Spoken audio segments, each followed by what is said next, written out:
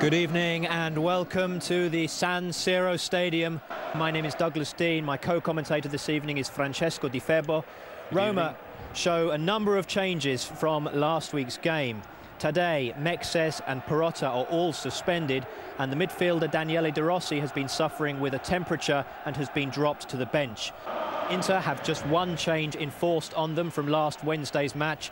The central defender from Colombia Cordoba has been suspended and his place is taken by Marco Materazzi, a straight swap, an uncompromising central defender for another there, Marco Materazzi, the Italian international. Francesco, what do you think will be the key ingredients for tonight's game as Inter look to end what has been for them a disappointing season? Well, as you say, Inter are in a must-win position, uh, uh, but on the other side, I'd say the interesting key player could be Okaka, was making his debut ever from, from the first minute in uh, Italian Cup, in the Italian Cup final. And on the other side, let's say Figo and Adriano will have to show off uh, all the quality we have and a, the skills. As you can see there, we have a, an early flare that's been thrown onto the pitch. It's not entirely clear from here which section of the crowd it came from. Materazzi looked as though he was going to try and deal with it, but perhaps had second thoughts and probably very wisely. Adriano there, though, shows good strength and skill to hold off a defender and move away into the Roma half with the ball. And another player is beaten there, and the cross perhaps can come in, and it's bounced back to Cambiasso, who has scored an absolutely magnificent left foot volley. Esteban Cambiasso, the Argentinian, has opened the scoring, and it's another early goal for Inter. Five and a half minutes just under on the clock. What a strike, Francesco. Tremendous, terrific. I've never seen anything like that so far in Italian Cup. Left-footed, fantastic volley, edge of the box, incredible. Nothing to do for Doni, but just a lovely finish. Absolutely caught it plumb with the outside of the left foot. Very, very clever play from Adriano, who shrugged off a defender. Inter have possession back. Walter Samuel was tough hard as nails Argentinian centre-back looking to start something and it's found its way out to Favalli. Cambiasso, the goal scorer, plays it in for Cruz. It's a bit of a miscontrol, but he's kept it and he's found Adriano. Adriano uses his strength to try and hold off Roma players, but they've outnumbered him, they've outbullied him, and they've come away with the ball. Dacourt, strong tackling player, but remarkably graceful on the ball, the Frenchman. And that's a lovely ball in, and Okaka has let it run, and Mancini has a chance, and he tries to back heel it spectacularly into the goal and he managed he well he managed to get a shot on target there albeit a slightly unorthodox back heel but I wonder if there was the chance to hit that first time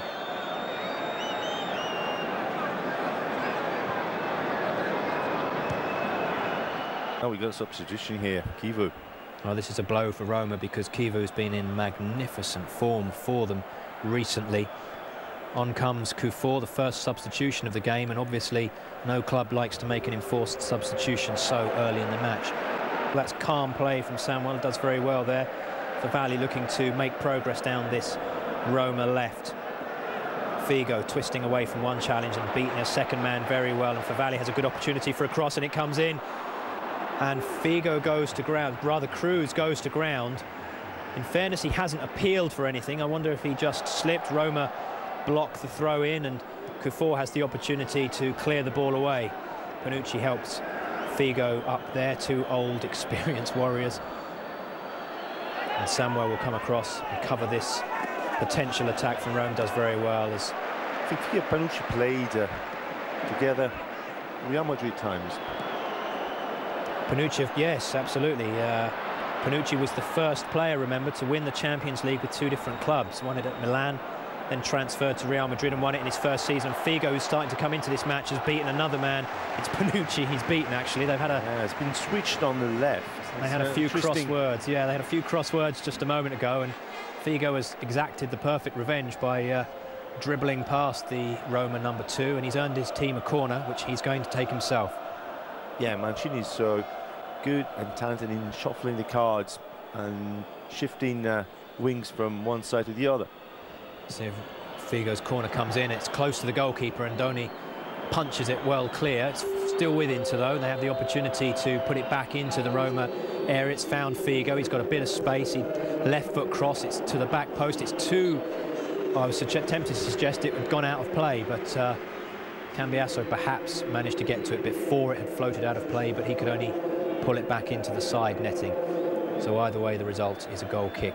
Mancini not very happy with something, perhaps Figo's cross, which wasn't the best considering he had a bit of time and space to actually deliver an accurate one. And that's a lovely ball inside. If Kjaer can just get it under control, he was stretching ever so slightly to get it under control, and that was just enough for the Inter Milan defence to clear it away.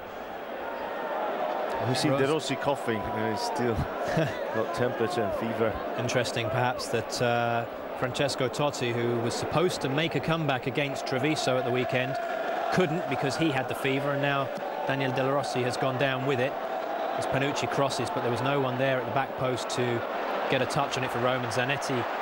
Again, very elegantly attack. away, and Stankovic with his first chance really to run at the players, and he's found Adriano with a lovely ball. Adriano sets his sights and perhaps over-elaborated. He tried to cut back inside and Dacourt read it, and there was maybe time for Adriano to get a shot away.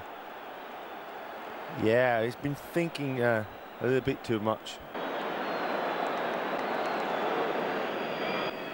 Yeah, it's strange to notice how Inter Milan are playing on the counter-attack, which is not good in front of the home crowd. And Roma are growing up a little bit. Roma coming into this game perhaps more and more. Dacourt maybe with a chance for a very long distance shot, but he's opted sensibly perhaps for Panucci, whose cross comes into the back post, and there's a bit of space there. It was unlucky. Car just sliding into the back post. Did well, actually, to get a foot on it, but couldn't direct it back into the danger area. Panucci's cross just a little bit too long. You can see Car just sliding in. Could have gone anywhere, but uh, in the end went harmlessly behind for a goal kick. But uh, another promising moment for Rome.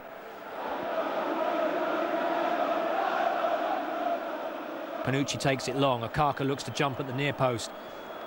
It's hacked away there by Stankovic, and Kuffour looks to keep Inter under pressure. But that was a poor header, in fairness. He had time to bring that down, and Adriano now perhaps with an opportunity to put them under more pressure. He's sizing up the opportunity to take on the defender, and that's a great piece of... Goodness me!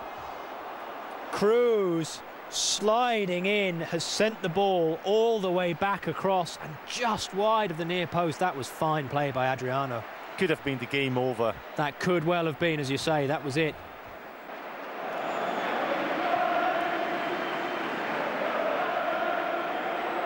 We have a long-range shot here from Bovo, who's got a powerful shot, but that one was uh, harmlessly into a pack of defenders and into perhaps with the first half approaching its close, have the chance to break away. And Cruz, who can come through on goal and wrap this game up for Inter Milan, and he may well have done exactly that with a very, very cool, calm and collected finish a brilliant, brilliant counter-attack from Inter Milan. It has to be said they went from one end to the other in a matter of seconds.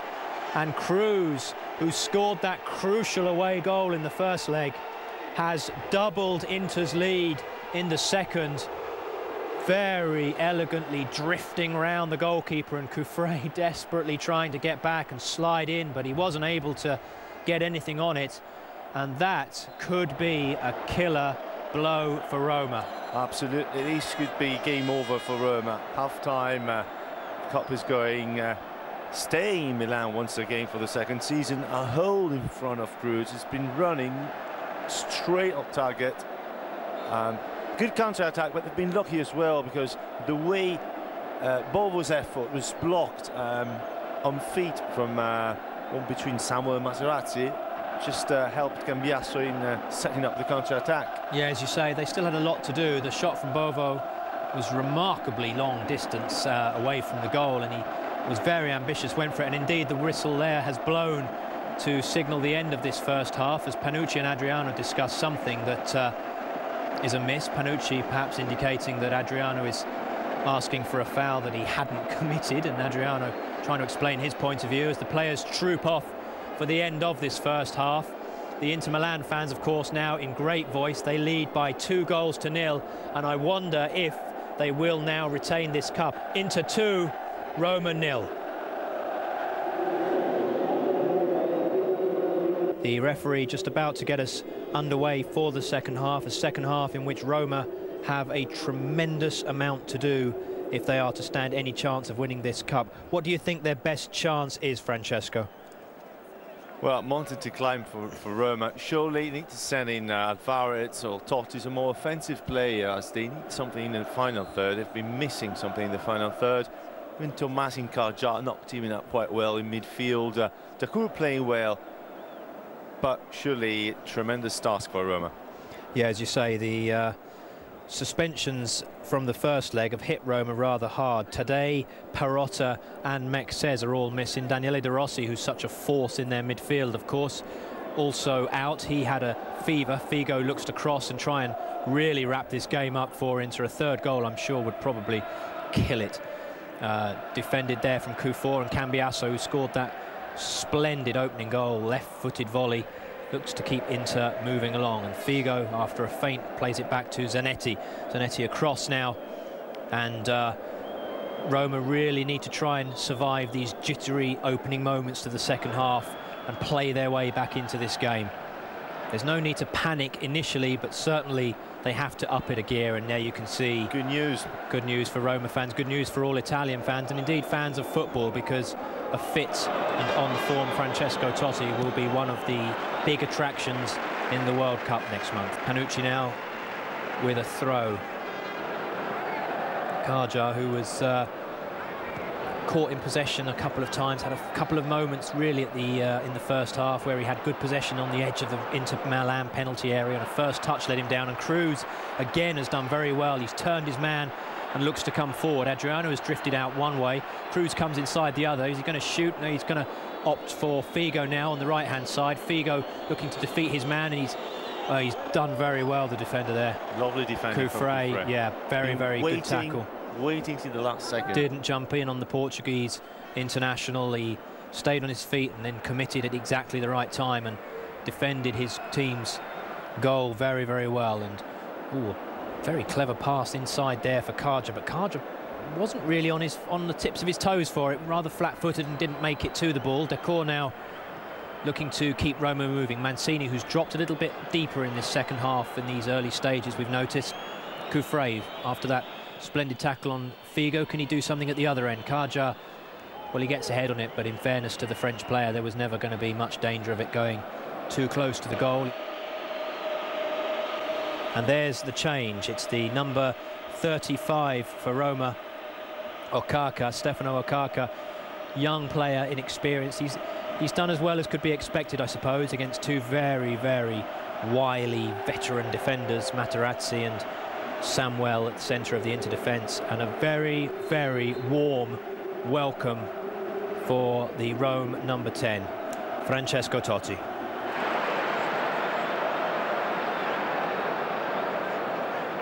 Here's Figo looking to use his skill and his experience to create something. Solari down the left-hand side, back again. Now Stankovic with a shot, it's or Pizarro rather with a shot, but it's uh, could have been awkward. It was bouncing, but uh, it's drifted through for the goalkeeper, and Roma have another chance. That was uh, Martins, the young Nigerian striker that you saw tucking his shorts in and tying up the laces on the shorts, ready to come on. Uh, do you think for Adriano? Yeah, probably for Adriano. Oh, and the, the, ball has come through for Tommasi, and a chance for Roma here. Oh, and he just wasn't sure if he was trying to shoot or to send a little cheeky cross to the back post, and in the end it uh, was neither, but he has won the corner. And it's a short one, and it's taken to Cufré. Cufré does have a powerful shot. He's gone for goal. It uh, was a nice idea, but in the end it was curled straight into the arms of Julio Cesar, the Brazilian goalkeeper for Inter Milan. Brazilian number two, his number one for the Brazilian journey plays across the city um, for AC Milan, across the cathedral, they say here in Italy, don't they? The other side of the cathedral. Yeah, or as the other side of the river in Rome. Brazilian goalkeeper, of course, also for Roma the site this evening, Doni, and it is indeed Adriano. He's had a better game this evening, I thought. He's um, he was very, very anonymous in the first game apart from setting up the goal. Um, but tonight he's looked a lot stronger, he's made some good runs, he's created some chances. Totti slotting the ball into the path of Kjaer, who goes again. And Kjaer, that was an intelligent run. And if he can cut the ball back here, Roma could have something. Totti goes for it. Oh, and just drags the shot wide. The what first sight of goal for Roma in the second half. And Totti, he was quickly onto it. It was, was a ooh, tremendous effort. It was, it was, a tremendous effort. He caught hold of it well, and it, ay, ay, ay, it just Ronnie drifted wide. the ball you something you never never see usually.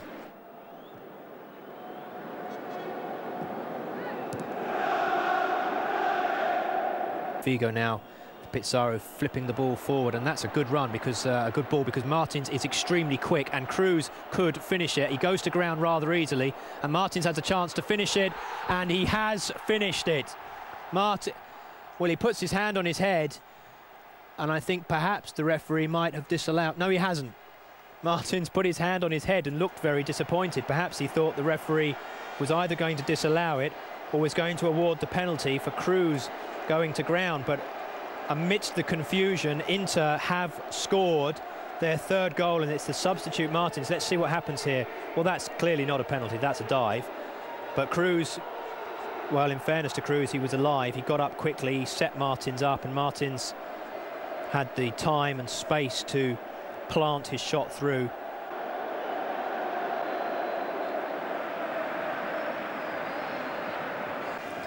Well, Roma now in big, big trouble. That's a very, very clumsy challenge from Materazzi, and that was, well, that looked to me rather cynical, and Cufré's gone down, holding his side there. Materazzi deservedly and understandably getting the yellow card.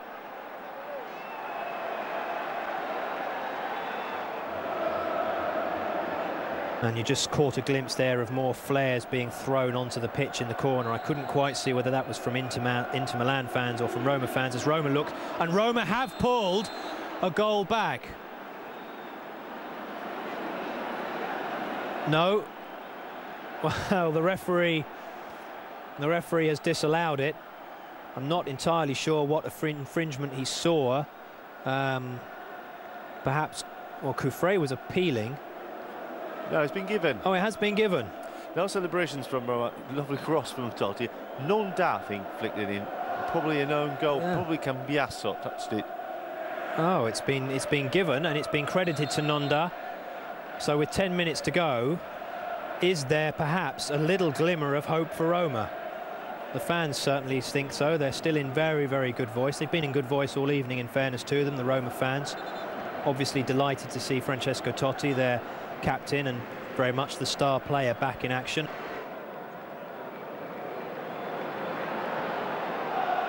Here's Martins though.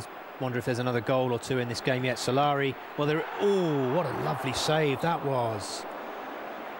Great. Uh, it's Kili Gonzalez. They pushed across to him and he he hit it. I'm not sure if it was on target. It certainly looked to me as though it was going to find the far corner. And Doni. Oh, that's a lovely save. He got a hand to it and it hit the ground and just spun over the bar. It's interesting that um, Italian clubs, of course, a reputation for strong, disciplined football, plenty of individual skill and flair, but the supporters, ooh, Solari looks to wrap the game up with a left-footed shot to the far post, dragging it just wide.